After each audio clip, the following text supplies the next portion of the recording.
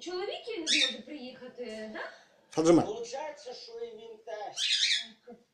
Капець, який чудо.